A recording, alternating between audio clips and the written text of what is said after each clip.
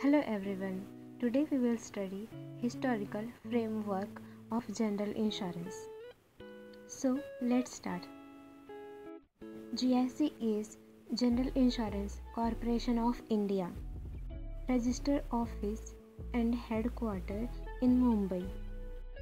GIC was framed in pursuance of Section 9, Subsection 1 of General Insurance Business Act 1972 and incorporated on November 22, 1972 under the Companies Act 1956 as a private limited company.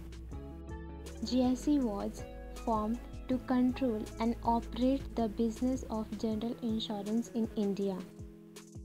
GIC was reorganized with four fully owned subsidiary companies, for example, National Insurance Company Limited, second New India Assurance Company Limited, third one is Oriental Insurance Company Limited, and fourth one is United India Insurance Company Limited.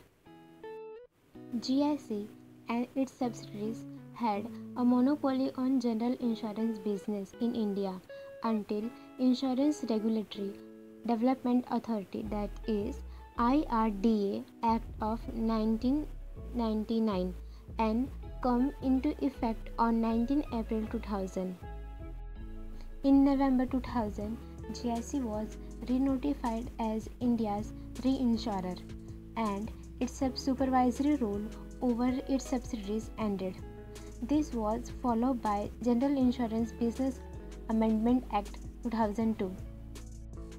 The ownership of the subsidiaries is now transferred to Government of India, which in turn diversified its stake in the companies through listing on Indian Stock Exchange.